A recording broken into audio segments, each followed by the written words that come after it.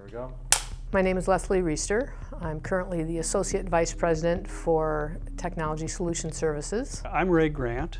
I came to PCC in 1992 and uh, I was here for 10 years. My name is Jim Templeton. I work uh, currently on the computer help desk, helping with calls throughout the whole district for staff, faculty, and students. I'm Tammy Billick. I'm the Division Manager in Technology Solution Services. I'm Lucy Curry, and I'm the Campus Technology Manager for the Sylvania campus. I'm Tom Crowder. I was Director of Computer Services from 1968 till 1995.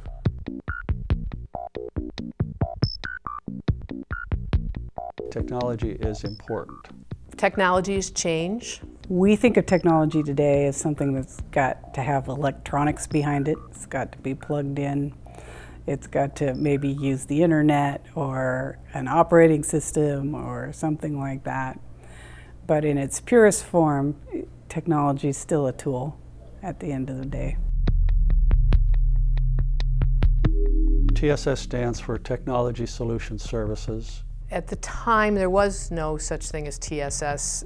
As it currently exists, it was Information Technology Services, which was primarily administrative computing. And before that, it was the IT department. So the name is not important because it's pretty much the same thing. What the department does in general for the college, it is responsible for uh, acquiring, deploying, maintaining the core technology and providing a suite of services around that technology to help people use it. Yes, it was a Honeywell um, 120. It had 32K of memory, four tape drives, card reader and a punch, and then later we added a hard drive, disk drive, that would store 10 megabytes of, of storage. All of the operations for processing all the, information were done by student operators, supervised by our full-time paid operators. And they used that, the computer center as their lab to learn how to process work and keep the records, uh, rec all the record keeping associated with what was run, when it was run, you know, and that sort of thing.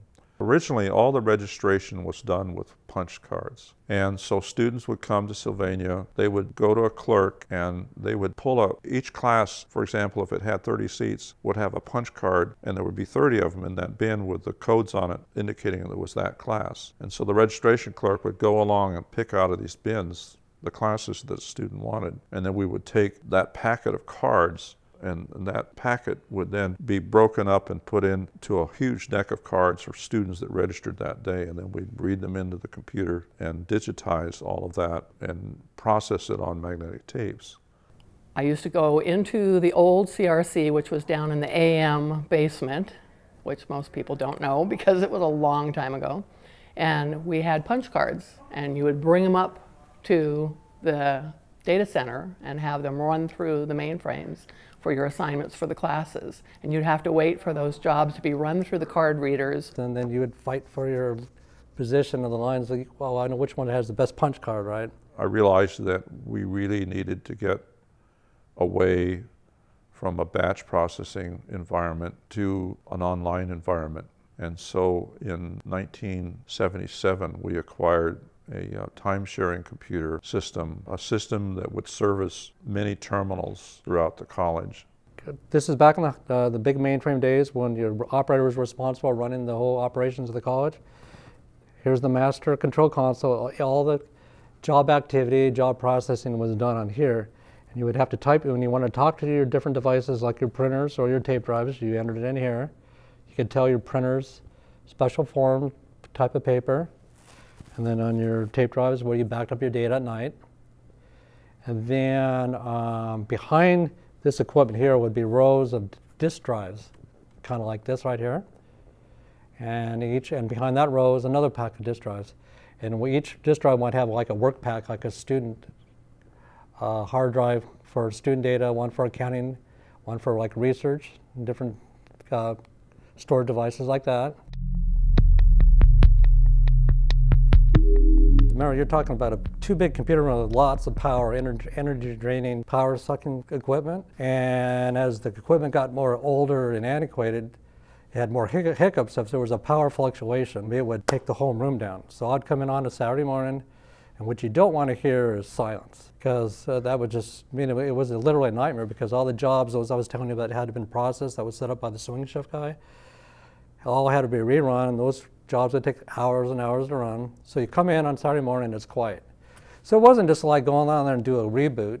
You had to go over to each specialized equipment and do a power up sequence of getting the equipment back online.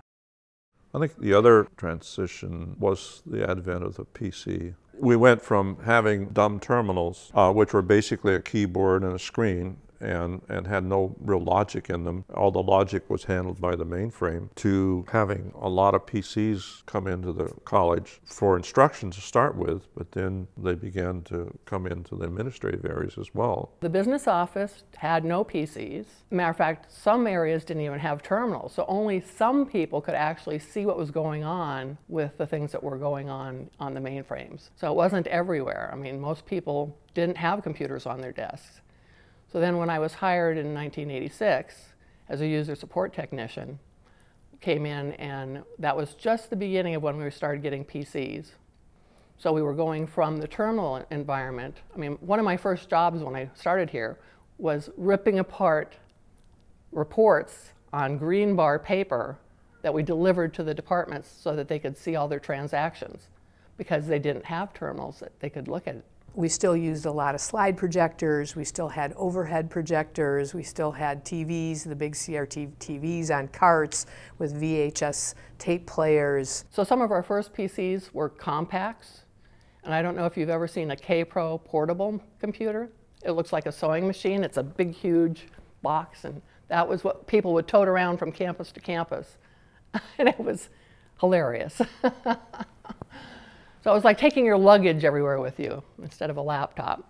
Very, very first computers didn't even have a big hard drive, just built-in floppy drives. And to run the software, you would have to boot up on one floppy drive and put another disk into the second floppy drive, and everything ran off of floppies. There were no internal hard drives. So that, that's pretty amazing. I mean, in 1986, 87, 88, that's the way we were computing here. We didn't have a lot of memory or hard drives.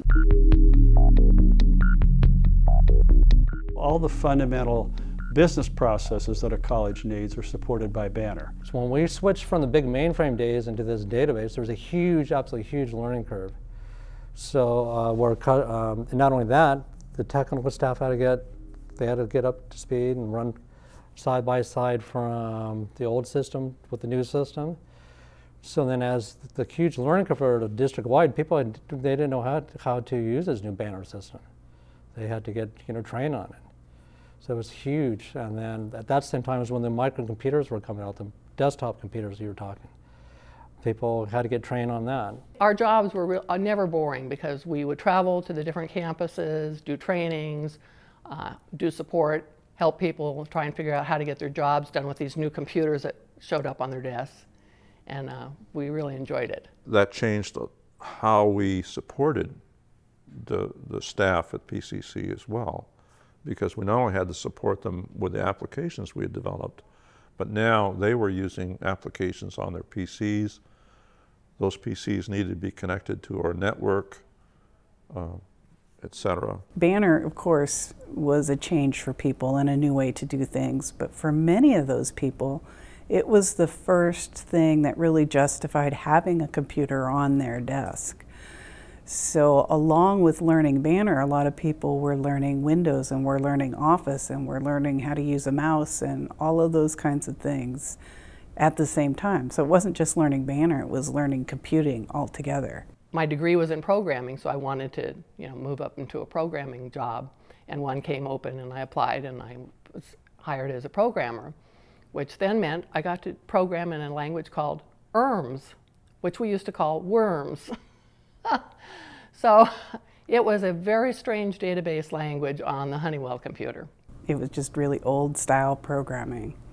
And uh, this was a system that had been somewhat custom built over time, so there were all these interesting little hidden things that it did that no one knew about until, of course, they broke. So um, I was glad to see it go out the door because um, Banner at least was uh, fresher, newer. We understood it. We'd had training in it, and ERMS was just creaky. We had implemented a lot of new technology that was primarily bond funded um, in the early 90s. We had, like I said, Banner was new to us. We had all new servers, new network infrastructure, and we had implemented a new telephone system at that time. So through that time period, the technology was fairly modern, it was fairly stable.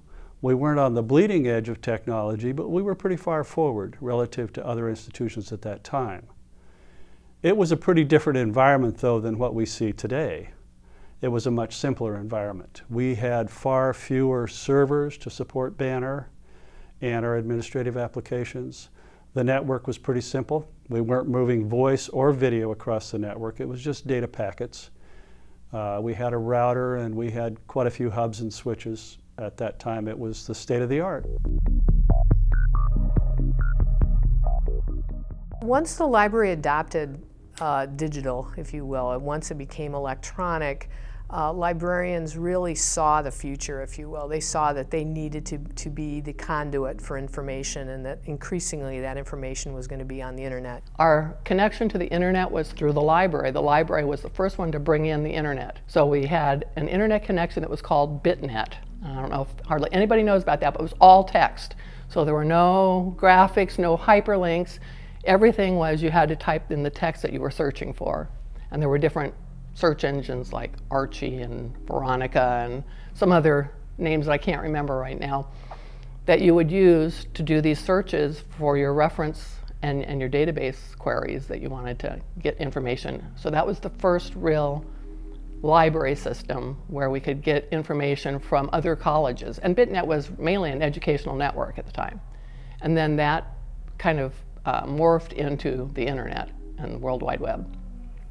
So the library was our first connection, and then it spread to the rest of the college. Around 1993, when the internet was coming live, uh, not everyone was able to get access to it. So on the uh, employee side of it, they would have to have their dean, director, or supervisor send an email to the director of computer technology services to be able to say yes, a technician can come by and install the application software on the computer to gain access to the internet. The changes that I've seen in the IT department uh, is that we've gone from huge, monstrous mainframes to smaller servers that are actually rack mounted. We have way more computing power than we ever had at the beginning. People come with their own computers now, their phones, they're connected to everything in the entire world. So the big change is that you don't have to go sit at a terminal and talk to a mainframe anymore. You can talk to any computer anywhere in the world, any place you are. Everything's gotten smaller, faster, more powerful, more pervasive, and it's, it's pretty amazing. I mean, when, when I stop and think about um, the capabilities of computers today, and my phone is probably more powerful than the mainframe computers that we used in the 1960s. Our customers are users, students, faculty, staff, the general PCC community know a lot more about technology and rely a, more, a lot more on technology than they ever did in the past. Uh, people are pretty savvy with this stuff, you know, uh, and they and they need it. It's it's a it's a high priority, and it's uh, there's less tolerance for downtime or unavailability of uh, of technology. So we need to build systems and support systems that are highly available, highly redundant, that don't fail very often. That's always a challenge considering how complex it is. Because right now everyone's got two or three, come on campus, they got two or three different devices. You got your laptops, your notebooks, your, uh, and your smartphones. And now, which is extra challenging for, at least on, on the college's side, as far as the network as far as making sure the device is secure, as far as putting our network.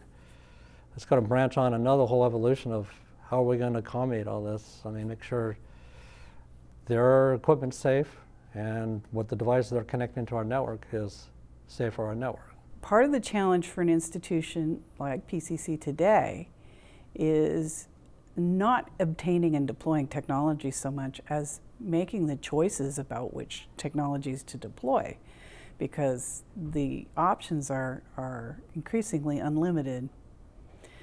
So I think in TSS, the, the best role that we play these days is being able to see where things are going and thinking about how that applies to the, the needs that people are expressing. Not necessarily that they're saying, I need this kind of software, but they're saying, I need to solve these kinds of problems. My best, best decision ever in my life was enrolling at PCC as a student. And I sincerely mean that because you know, 30 years of, um, of working at PCC, it's just a real rewarding experience. I've had many different positions in what is now known as TSS over my career here, and it's been really fun and exciting.